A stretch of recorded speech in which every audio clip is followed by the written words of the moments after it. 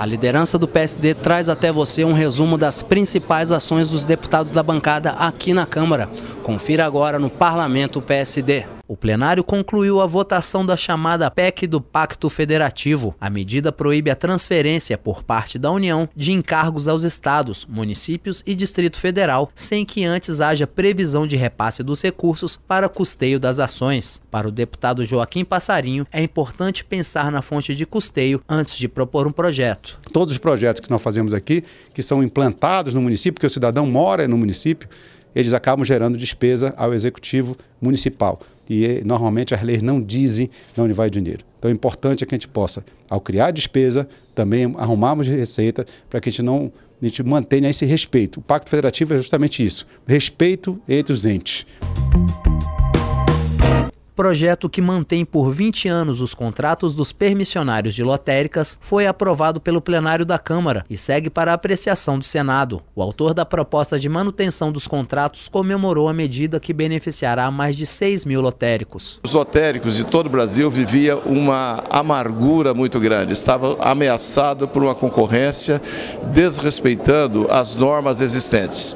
O Tribunal de Contas via pressionando a Caixa Econômica Federal para proceder a concorrência. E através de um aviso, a Caixa já come havia começado a fazer o chamamento. Com a aprovação deste meu projeto, que agora vai para o Senado e espero que seja aprovado já na próxima semana lá, existe também o compromisso do governo de sancionar, dar tranquilidade para os lotéricos, né, por pelo menos mais 20 anos à frente, após 2018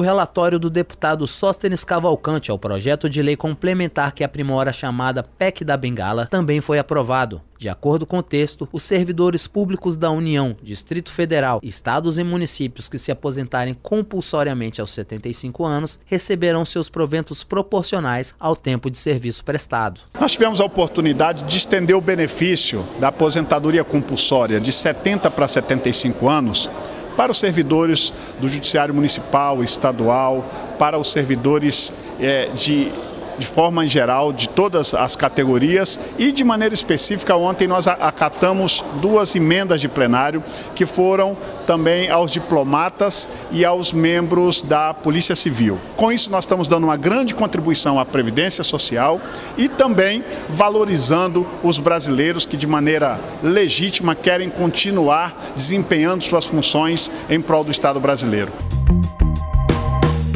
Seminário realizado para debater o fomento do turismo no Brasil reuniu parlamentares e diversos representantes do setor, ao analisar a conjuntura atual e propor novas alternativas, o coordenador da Frente Parlamentar Mista em Defesa do Turismo ressaltou que a atividade pode ajudar a economia brasileira. O turismo vai ajudar a salvar o Brasil da crise. Eu tenho batido nessa tecla e nós estamos mostrando para todo mundo o potencial do Brasil, do turismo, da gente fazer o turismo interno com o dólar alto para melhorar a economia brasileira, o, o brasileiro conhecer o Brasil Brasil e gastar em, nos hotéis, restaurantes, no comércio, enfim, tudo que se, que se promove o turismo e trazer turistas estrangeiros, principalmente agora, nesse momento que o ano que vem vai, vão ter as Olimpíadas.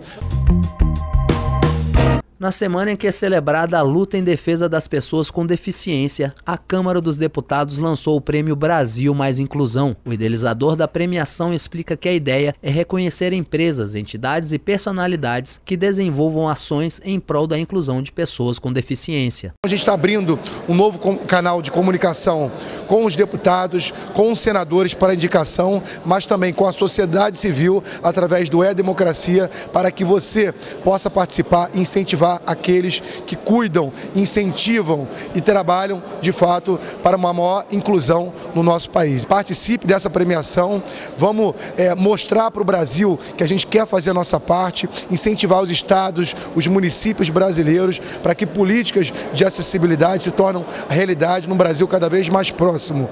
Termina agora o resumo com as principais ações dos deputados do PSD aqui na Câmara. Confira todas as notícias em nosso site e em nossas redes sociais. O Parlamento PSD volta na próxima semana. Até lá!